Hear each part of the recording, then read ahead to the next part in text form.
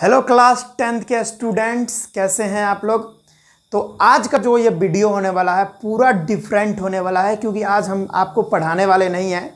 क्योंकि पता है ना कि सीबीएसई बोर्ड का टर्म फ़र्स्ट का एग्ज़ाम आने वाला है। टर्म वन का एग्ज़ाम आने ही वाला है, सर पे है। तो किस तरह से तैयारी करें टर्म वन का कि हमको 95 परसेंट मार्क्स आ जाए किसी भी सब्जेक्ट में? वो मैं साइंस का ही बात नहीं कर रहा, मैं सोशल साइंस इंग्लिश मैथमेटिक्स सबका बात कर रहा हूँ। तो किस तरह से हम तैयारी करें अभी से, जो टर्म वन में हमारा जो है मार्क्स बहुत अच्छा है, यानी 95 परसेंट के करीब आ जाए। क्या करें हम जो ऐसा हो? तो आप बिल्कुल टेंशन ना ले, आपके लिए टेंशन लेने वाला आपके सामने खड़ा है तो मैं आज आपको बताऊँगा कि किस तरह से आप तैयारी करें अपना बोर्ड के लिए और वो भी टर्म वन के लिए, क्योंकि ये क्वेश्चन जो है वो बोर्ड ही भेजेगी आपके स्कूल पे। तो बोर्ड ही भेजेगी तो अच्छा क्वेश्चन ही आएगा। वैसे ऑब्जेक्टिव क्वेश्चन ही है, क्योंकि हंड्रेड परसेंट ऑब्जेक्टिव्स आने वाले हैं। तो उसी के ऊपर आपको तैयारी करना है। बहुत अच्छा पकड़ बनाना है ऑब्जेक्टिव्स पे। ठीक है? तो आज का वीडियो उसी के ऊपर होने वाला है। तो देखिए, पहला बात क्या करना है आपको? यानी आपको यही करना है।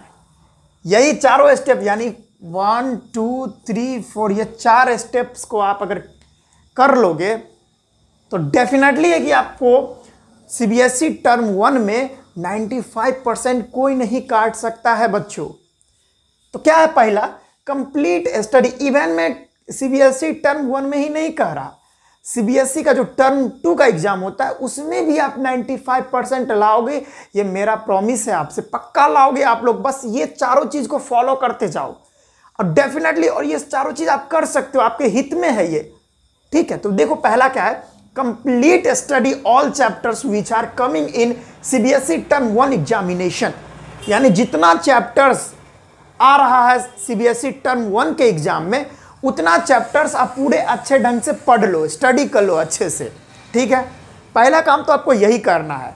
अब ये नहीं कि अब ये पढ़े ही नहीं और क्वेश्चन सॉल्व कर रहे हैं, समझ में ही नहीं आएगा। ठीक है? तो पहले करना क्या है कि आपको जो चैप्टर्स आ रहे हैं हमारे बोर्ड में, यानी term one CBSE term one के एग्ज़ाम में, जो भी कोई हमारा चैप्टर्स आ रहा है, वो सारे चैप्टर्स को आप पढ़ लो, ठीक है, अच्छे ढंग से।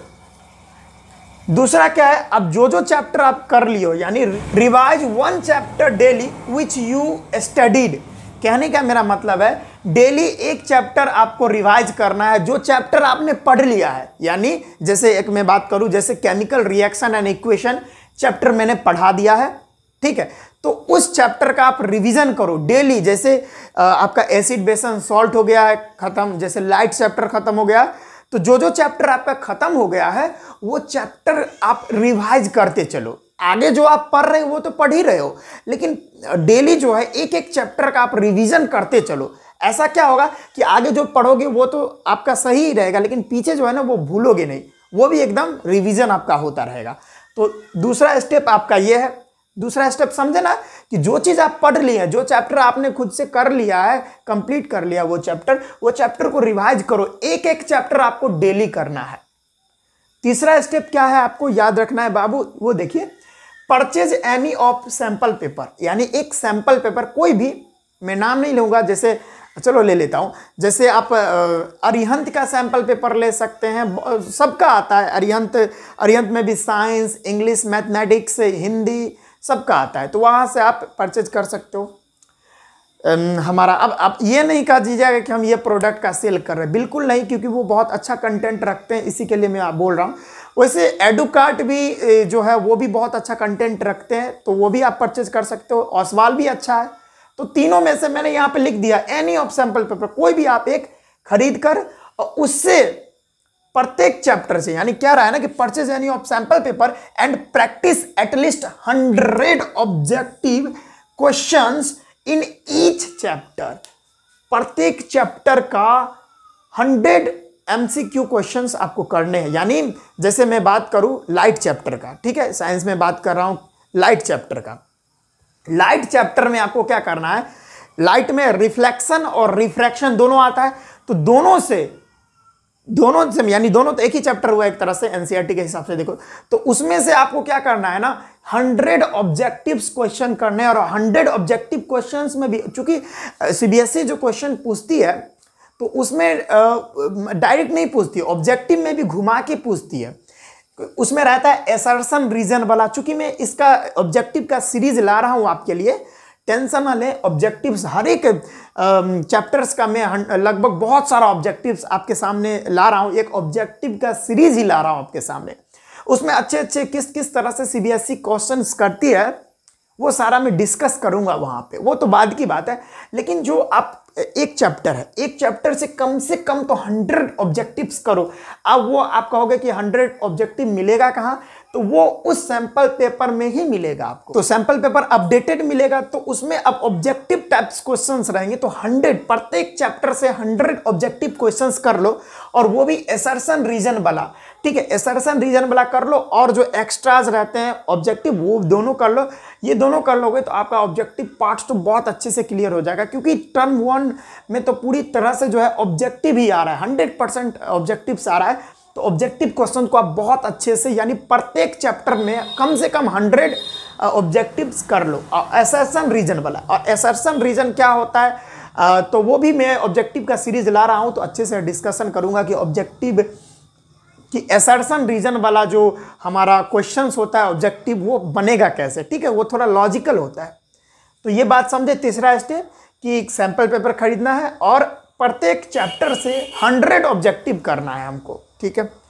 और लास्ट क्या है, ये तीनों पड़ाव से आप गुजर जाओगे। ये पहला पड़ाव, ये दूसरा पड़ाव, ये तीसरा पड़ाव, और ये चौथा पड़ाव लास्ट क्या है, जो क्या कहें, ये चौथा पड़ाव क्या है कि solve set of the sample paper honestly ठीक है?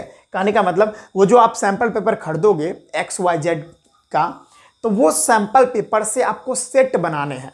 आपको क्या करना है? सैंपल पेपर का सेट सॉल्व करना है, ठीक है? तो हर एक सैंपल पेपर में लगभग 10 से ज़्यादा सेट होते हैं, ठीक है? वो सारे सेट्स को आपको सॉल्व करना है एक एक करके सॉल्व करना है और ऑनेस्टली करना है। ऐसा नहीं कि वो बना रहे हैं और उसको देखकर पीछे से उसका आंसर लिख दिए। तो वो फिर ऑनेस्टली नहीं करोगे तो आप ऑनेस्टली कैसे आप क्वेश्चंस को कर पाओगे एग्जामिनेशन में? इसी के लिए सेट करना है और ऑनेस्टली करना है। और कितना सेट कर जाना है आपको? लगभग 10 सेट कर जाना है। अगर 10 सेट कर लिए, तब तो आपका झिंगा लाला झिंगा लाला हो जाएगा। यानी आपका तो मज़ा आ जाएगा। फिर आपको टेंशन किस बात की है? तब तो आपका 95 परसेंट रखा है। ये चारों चीज़ आप कर लेते हो तो आपका 95 परसेंट किसी भी सब्जेक्ट में साइंस में एसएसटी में मैथमेटिक्स में कोई नहीं काट सकता। ठीक है? तो ये चारों चीज़ आपको करना है। तब आप बहुत आसानी से किसी भी सब्जेक्ट में 95 परसेंट स्कोर कर सकते हो। ठीक है बच्चों? तो ये बात आई थिंक आपको समझ में आया। ठीक है students my all blessings is with you with you always. ठीक है? तो हम मिलते हैं नेक्स्ट वीडियो में। आप बहुत अच्छा स्कोर करोगे, मुझे पता है। टर्म वन एग्ज़ाम में और टर्म टू एग्ज़ाम में इवन ज़िंदगी के हर एक एग्ज़ाम में आप बहुत अच्छे करोगे, ठीक है? तो हम मिलते हैं नेक्स्ट वीडियो में। पढ़ाई करते रहिए। All the very best.